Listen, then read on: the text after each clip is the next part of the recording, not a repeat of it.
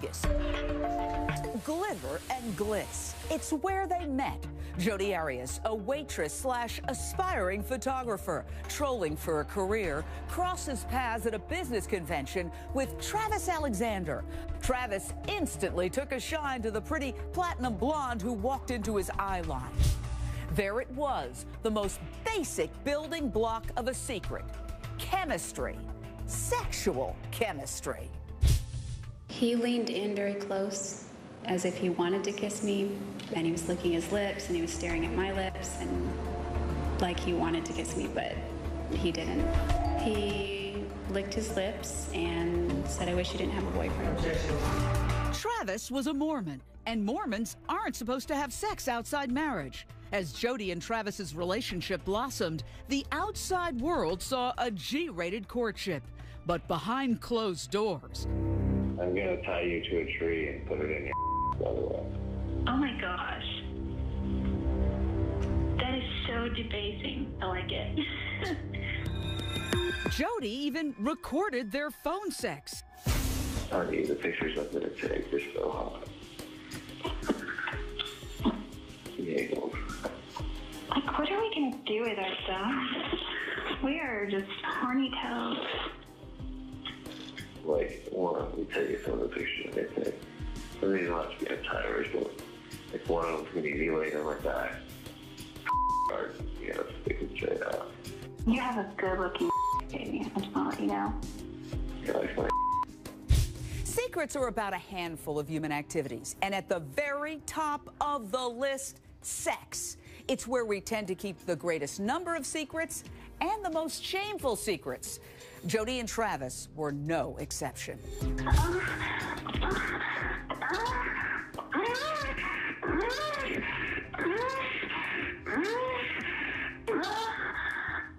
The way you know that it sounds like sounds like you're a 12 year old girl having her first orgasm. It's so hot. You're bad. You make me feel so dirty. You are dirty, baby. To hear his voice in the courtroom was so eerie. And then to hear what he had to say when he was talking about his fantasies, some of them very violent, uh, having the sex over the phone with her, and we hear them both climaxing. It was just, um, a, it was a, a high point and a low point in the trial. Some of the jury members are looking down. They're embarrassed. You could tell they're trying not to, avoiding eye contact with anybody in the courtroom. Others are staring directly at Jodi, studying her as the sex tape is playing. Meanwhile, Jodi is on the stand, hair covering her entire face. You can't even see her. She uses her hair as a shield in these really embarrassing moments in court. Secrets can be murder. In this case, toxic secrets that exploded in death. On June 4th, 2008, Jodi Arias killed Travis Alexander by stabbing him 29 times, slitting his throat ear to ear, and shooting him in the face. All this happened in the confines of his master bedroom and bathroom. After Jodi and Travis had indulged in an afternoon of kinky sex and naked photo sessions. Was it your idea to pose for that picture, or did Travis suggest that that take place? He suggested all the poses. Is that something you really wanted to do? That was not my favorite part of the day, no. I didn't want to do that. But, I mean, I didn't disagree. He wanted to get a picture of us having sex without somebody holding the camera. Would it be fair to say that he was directing you what to do and how to pose? Yes. But why did you pose in these positions for him?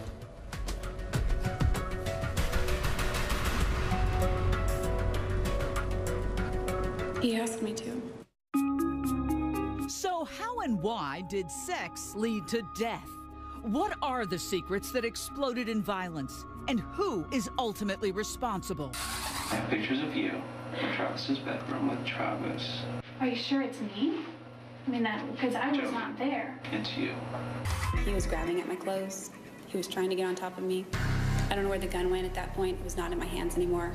It got knocked out of my hands, or if I dropped it, what. I broke away from him And as soon as I broke, the moment I broke away, that's when he threatened my life. I'd have no clear memories after that. Jodi claims she was in a fog when she left Travis's house after the killing. Nevertheless, she carried with her a new set of secrets. No one knew what she had done. I don't remember bringing the gun with me, but I remember throwing it. Throwing it where? In the desert. She's barefoot, she's covered in Travis's blood, and she pulls over in the desert and starts to concoct her story, starts to cover up her tracks. She washes her hands of blood, she throws away the gun, and then she starts making phone calls, immediately coming up with this cover story that she maintains for the next month. In her desperate attempt to keep secret her starring role in Travis's extraordinarily violent killing, Jodi decided she would call Travis and leave him a voicemail. I know Leslie called you, so I already talked to her, so uh, you can call her back if you want, but it's not necessary. Um, my phone died, so I wasn't getting back to anybody. Um, and what else? Oh, and I drove 100 miles in the wrong direction, over 100 miles, thank you very much. So yeah, remember New Mexico? it was a lot like that, only you weren't here to prevent me from going into the three digits, so fun, fun. Tell you all about that later. Um, also, we were talking about, when we were talking about your upcoming travels my way, I was looking at the May calendar, duh, so I'm all confused. Um, but Heather and I are going to see Othello on July 1st, and we would love for you to co- accompany us. An invitation to see Shakespeare, a stunning testament to the lengths Jodi would go to keep a damaging secret. Her lighthearted tone, a stark contrast to the blood soaked crime scene. A friend of ours is dead in his bedroom. We, we hadn't heard from him for a while. We think he's dead. His roommate just went in there and, and said there's lots of blood. Has he been threatened by anyone recently? Yes, he has. He has a he has an ex-girlfriend that's been bothering him and and um following him and slashing tires and things like that. And do you know the ex-girlfriend's name? Her name is Jody. Jodi Arias, washing the blood off her hands in the middle of the desert, was carrying perhaps the most toxic secret you can ever keep. She had just killed a man. Jodi began creating an elaborate smokescreen by canoodling with another man. She headed from the crime scene in Arizona into Utah and met up with this man, Ryan Burns. Did you kiss Mr. Burns? Um, eventually, we, we kissed, and we were watching some like scary movie, I guess. And um, he was laying next to me. We weren't like really touching, but we were kind of laying next to each other. And I just, I don't know. I felt, I felt safe right there, and I figured like if I don't kiss him at all, I don't know. I don't know. I guess I just wanted to seem like normal. I wanted to seem like like I was okay, like things were okay, like like I didn't just do what I just did. Welcome to our secrets lab. Joining me, noted psychologist Jeff Gardere and Robi Ludwig. Uh, Dr. Jeff. Yes. She goes from killing Travis Alexander to canoodling in short order within hours with another guy, making out with another guy. What does that tell you about Jodi Arias' mentality? Well, I think this is a young woman who does have a personality disorder. And as we see with many women with these sorts of issues, they learn to use sex as a tool. She was doing that to cover up her tracks. Dr. Robi Ludwig, what could the symbolic significance be of her killing Travis Alexander and then going and immediately making out with this other guy, Ryan Burns? I don't know if she really felt like a person unless she was sexually engaged with another. So as long as I'm sexually engaged, I exist, I matter, I'm alive. And I don't know if Jodi could feel like a person unless Mhm. she was in that kind of relationship. If I'm found guilty, I don't have a life. I'm not guilty. I didn't hurt Travis. If I hurt Travis, if I killed Travis, I would beg for the death penalty. That was around April that you last saw him, right? Early You, you haven't you haven't been back in town since then. No, I haven't at all. Um, I thought somebody had mentioned your name and you'd been back in town for like a week or a couple of days. Oh, I, I've been I've been thinking about going there. So yeah, I've been definitely planning on heading down there. Um, But you haven't physically been here since since you left? Since I moved, no, I haven't. Within hours of Travis's friends finding his decomposing body stuffed in his shower, Jodi was reaching out to cops and insisting she was nowhere near the crime scene. Were you at Travis's house on Wednesday? Absolutely not. I was, I was nowhere near Mesa.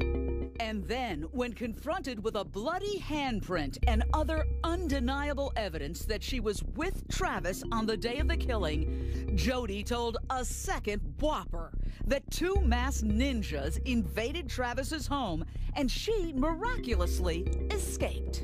They didn't say a lot. They were white Americans, from what I could tell. They had, um, um, what do you call those things? Like, like beanies, but they cover your whole face. They didn't discuss much. They just argued About what? about whether or not to kill me For what reason? because I'm a witness A witness of what? of him, of Travis. Of Travis's murder. Yeah, but I didn't really witness it. Didn't see much. When Jodi finally took the stand and admitted she killed Travis Alexander, that revelation came with a stunning avalanche of sexual secrets that would rivet the nation.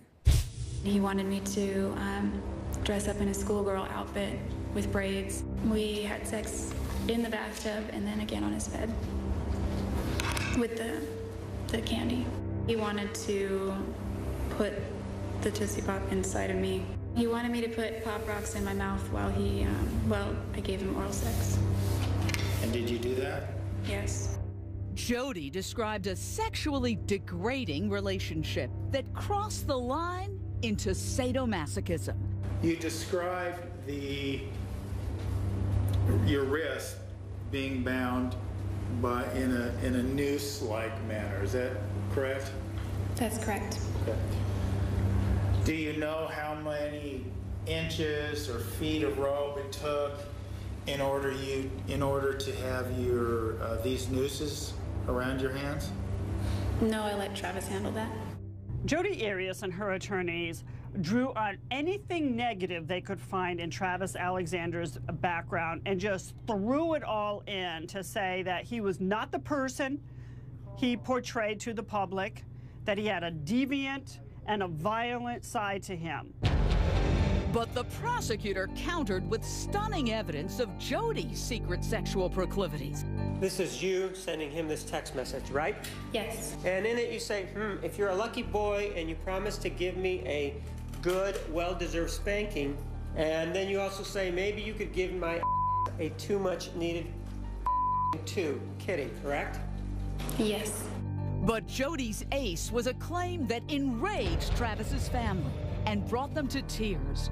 Was it Travis's darkest secret or Jodi's most vicious lie against the man no longer here to defend himself? I didn't want to talk about his issues in the text messages.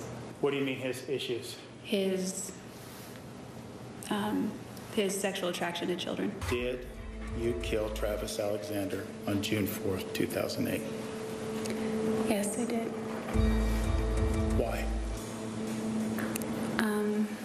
Simple answer is that he attacked me, and I defended myself. Travis Alexander, a successful businessman and motivational speaker, shot and stabbed to death by his lover, Jodi Arias. But Jodi, in a bid to spare herself the death penalty, turned the tables and tried to put the victim on trial. Jodi said Travis led a secret life, a double life. Behind the smiles in these photographs, there was a whole nother reality for Jodi. A reality that Travis created. Because in reality, Jodi was Travis's dirty little secret. While the world saw Travis Alexander as an upstanding Mormon, Chase, an elder, in fact, in the Mormon church, Jodi Arias painted him as a sexual deviant, a man who degraded her sexually over and over again. He wanted to drive up to the home. He wanted to get out of the car, have me come out of the house, give him oral sex, and he wanted to on my face and then get back in his car and drive away without saying a single word. Smiling photos show Travis and Jodi after he baptized her into the Mormon church. But Jodi claims right after, Travis pressured her into submitting to anal sex, convincing her that the Mormon law of chastity only banned vaginal sex before marriage. You weren't to engage in premarital sex. Your takeaway of that was penile vaginal intercourse. Is that accurate?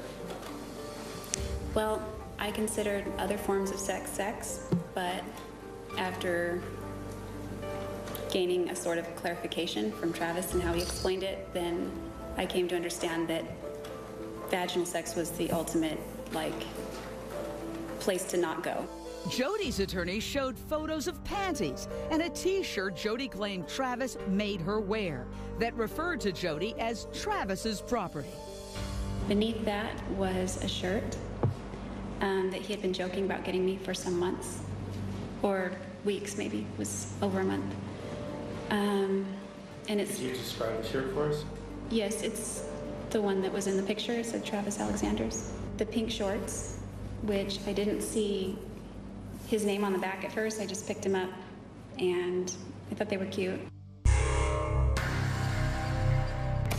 Welcome back to our Secrets Lab. This trial really pulled back the curtain on what you might call a very common secret kinky sex. What is sadomasochism, and why do both men and women find pleasure in it? Starting with Dr. Jeff. Well, when we look at the person who is sadistic, that's the one who wants to give the pain. The masochist is the one who wants to receive it. So now you can have a perfect union if you have two consenting adults because it takes the sex to another level. This is what they need in order to get the final sexual gratification.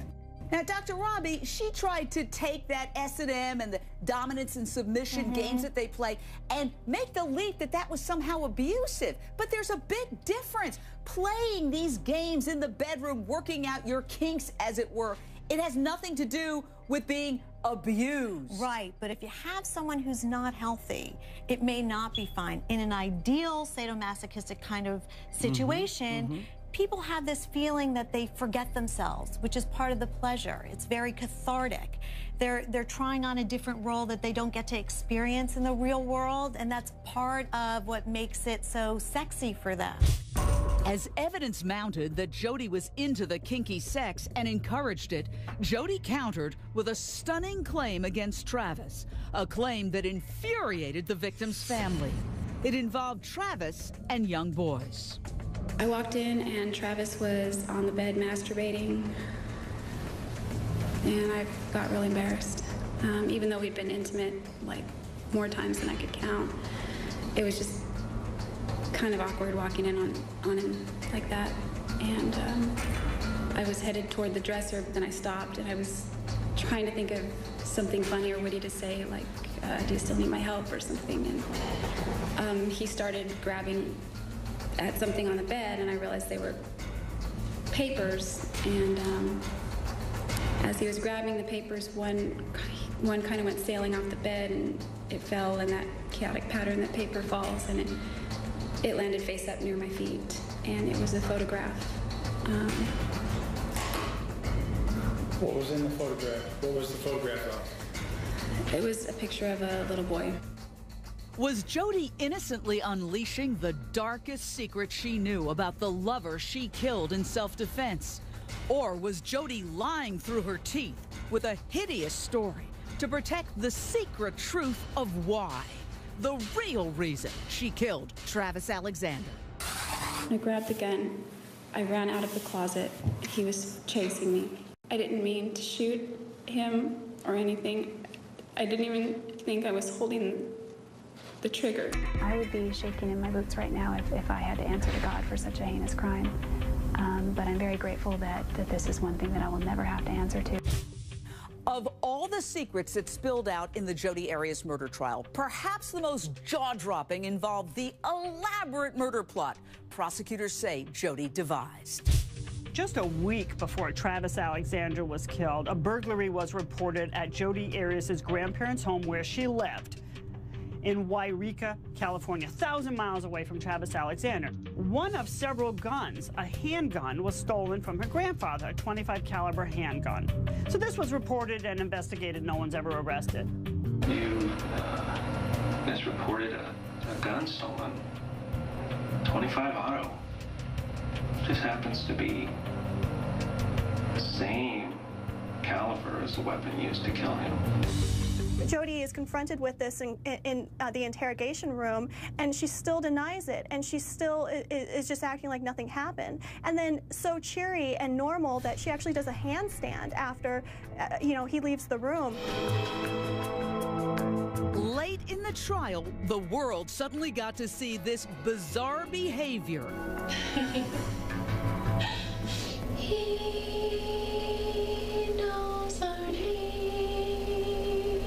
Jodi singing and doing a handstand in the interrogation room minutes before she's arrested. But this astounding tape remained a secret from the jury. In spite of Jodi's bizarre behavior, police were far more concerned with why she killed Travis Alexander, and investigators thought they knew the reason why jealousy. Continuing to lie is not going to help you. Admitting to something I didn't do won't help me either. Okay, let's say for a second that I did. And I say, I did it. I mean, The motive is there. The jealousy issue. but I wasn't, I wouldn't even say it was jealous. I mean, there, um, there may have been some jealousy there, but Then what I is think it? if What anyone-? I think if, you know, if anyone, maybe Travis was jealous, but Obsessed is the word that they use. That's the word I hear from everybody. Fatal attraction. I don't know how many times I've heard that. Please be seated. The record will show the presence of the jury. On the witness stand, Jodi insisted she wasn't fueled by jealousy over Travis taking another woman on vacation with him to Cancun. When you saw this picture of Mimi Hall, and he says, This is going to be my future wife, are you jealous? I didn't feel jealous. And he didn't say, this is going to be my future wife. He just said, this is a girl he's interested in. Um, but when he began to talk about her, I can't say it was jealousy. It was kind of bittersweet because I knew that I wasn't going to marry him, but I still had feelings for him, and I knew I needed to move on. Um, and I knew our relationship was unhealthy. So I still have feelings for him, but it's more like bittersweet because I still have a desire for him to be happy as well as me to be happy. Welcome back to our Secrets Lab. Let's talk with our experts about jealousy and rage. You know, there's an old saying, oh, if I can't have him, nobody else can. Jealousy is one of the most fundamental human emotions. Why is it at the heart of this case, Dr. Jeff? She's thinking, okay, so you're treating me like dirt, but now not only are you treating me like dirt, but now you're kicking me to the side. I'm accepting all of this because I want something from you. I'm dependent. I'm allowing you to do all these things to me because I want to be with you. And now I don't even get the payoff, and so it's about the rage. She took it for so long. I think she saw Travis as a prize. This was the man who's going to save her. She converted for him. Mhm. She really felt that he was something special. So imagine thinking you're doing everything within your power to win this prize. And then this prize thinks somebody else is better than you. That is a real assault to the ego. And I don't think that Jodi could handle that. And I think with her disordered mind, personality disordered mind, that's when the rage was just, she just could not control it. So even if she did kill him out of self defense, even that was overkill. The fact that she just went completely off is pathological in itself because she could have left a long time ago. Jodi used the lies to hide the secret truth of what happened between her and Travis in that bathroom and bedroom. But she also had another tool, an astounding claim that she went into a fog and doesn't remember stabbing Travis Alexander 29 times. Most of the day was an entire blank, and little pieces have come back, but not very many. When I sort of came out of the fog, I realized, oh crap, something bad had happened, and I was scared to call any authority at that point.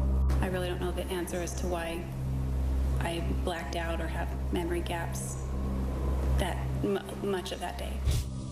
Would this fog be a get out of jail free card? Or would jurors just assume Jodi Arias was lying yet again? Did you lie to the detective, yes or no? Yes. And did you lie to him on two occasions? More than two, yes. Did you lie to people in Utah? Yes, everyone. Did you kill Travis Alexander on June 4th, 2008? Yes, I did. Why? Um, the simple answer is that he attacked me. A stunning admission, disturbing revelations, fiery confrontations in court. How is it that you are not remembering what you're saying? Because you're making my brain scramble. I'm again making your brain scramble. So, in this particular case, the problem is not you, it's the questions being posed by the prosecutor, right? No, not Yes the or no? questions. Yes or no? I was saying no when you interrupted me. And then, finally, the last words. Those are the truest words that are spoken in this case. And they're spoken by Mr. Alexander, even though he is not here, through his writing. You, Jodi Arias, are the worst thing that ever happened to me. Any doubt that that's the truth? Do we need to look at the pictures of his gashed throat? Do we need to look at the sort of frog-like um, state that she left him in, all crumbled up in that shower? Or do we need to look at his face where she put that bullet in his right temple to know that what he says there is true? You are the worst thing that ever happened to me. He's telling her enough is enough. And yes, he's angry absolutely angry after everything that she has done to him. And you've seen the manipulation as she has tried to manipulate you with what she has told you. Although she tells you that, well, he kind of was the person that pushed her in this relationship and that he was the individual that somehow was this person who was so sexually interested in her. And oh, by the way, she wasn't. That It's not her fault that any of this happened. Of course, none of it is her fault never occurred to her that in the lexicon of the English language, there's a word. It's called no, that you can use when you don't want to do something.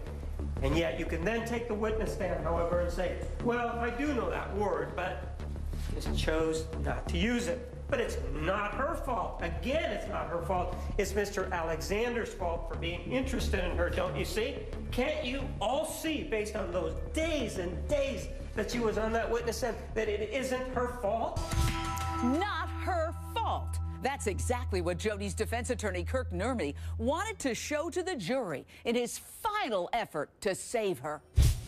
You may fear how your verdict will be received by those who love Travis Alexander, by those who love Jodi Arias, or by the world at large. Each and every one of you are here because all the parties involved believe that you are the type of people that would have the courage of your convictions to stand by your personal belief against whatever pressures you may feel. Each one of you is entitled to deliver your verdict to this courtroom. You do not have to succumb to the pressure of a fellow juror who may not agree with you. You can have the courage of your conviction to deliver your own verdict.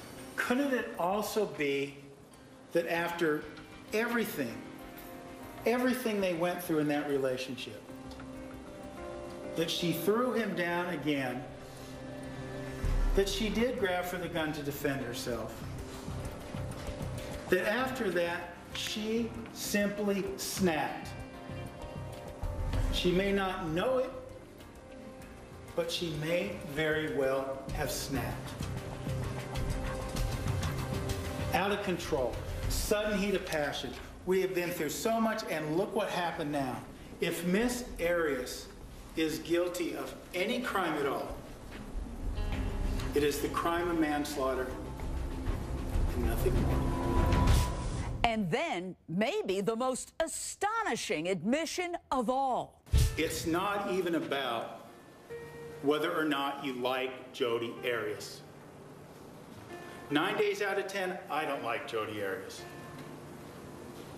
But that, Sustained. That's the third Yes. It is directed to disregard the last statement. but that doesn't matter. Your liking her or not liking her does not objectively assess the evidence. But for prosecutor Juan Martinez, in the end, there was nothing but evidence, a mountain of it, and it all pointed to one person, Jodi Arias. Goes down, he collapses there. She catches up to him and goes for the throat. And if you want to believe her that she doesn't remember anything, doesn't know anything that's going on, why then? Why then, if she really doesn't know what's going on and can't remember, why is she so directed at a place where she can certainly cause death? If she really didn't know what was going on, if it was just really passion, if it was just a heat of passion, then you wouldn't have a directed hit to somewhere that's going to kill. You would have dispersed all over the place. But when he goes down, there is a direct strike to his neck, which is an indication of somebody who is thinking this person's not going to live. He may get away from me in the shower. He may get away from me all the way to the sink. And he may stumble his way down that hallway. But you know, I caught him. What does she do? She deletes only certain images. It's not like all of the images are deleted. This shows somebody who is thinking, oh, I don't want to delete the one of this dog. Uh, or this other one. I'll delete this, the only ones that hurt me. And that is directed behavior by somebody who claims to have dissociative amnesia. Dissociative amnesia, you heard what the definition of that was. Or is it a fog? Even the San Franciscan fog, if, if, if, such a thing existed, wouldn't be so cloudy to account for this kind of behavior. Jodi's famous fog. Jodi killed Travis Alexander, and now she found herself fighting for her own life. How would the jury decide? Ladies and gentlemen, I understand you have reached a verdict. I'm here with some members of the sheriff uh, response team, and look, they're dressed to the nines, prepared for anything. And uh, right on the other side is the cell that is the same size and layout as the cell that Jodi Arias is in right now. And you see it sort of decorated with the kind of things that um, a- a prisoner would have magazines and um, their little knickknacks, uh, things they hold on to, but nothing that they can use to hurt themselves or others. For nearly five years, Jodi Arias called this Phoenix jail cell home. And after five months of lurid and graphic testimony about sex and lies and killing, the jury convicted Jodi Arias of the premeditated murder of Travis Alexander. And that same jury would quickly deem his murder to be excessively cruel, which made Jodi Arias eligible for death by lethal injection. Travis's sister and brother made heart-wrenching and passionate pleas for the jury to end their pain by giving Jodi the ultimate punishment. I cannot sleep alone in the dark anymore. I've had dreams of my brother all curled up in the shower, thrown in there, left to rot for days, all of them. I don't want these nightmares anymore. I don't want to have to see my brother's murderer anymore. Our lives will never be the same. We can never get him back.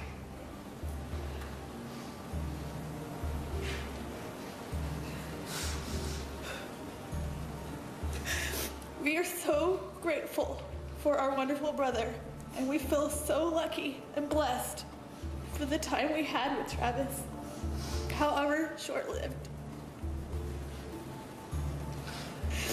We would give anything to have him back. Anything.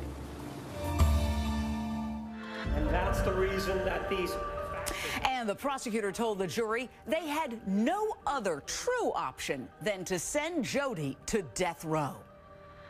all of these items that have been presented to you, every single one of them, is nothing more than the defendant's statements attempting, attempting to gain sympathy.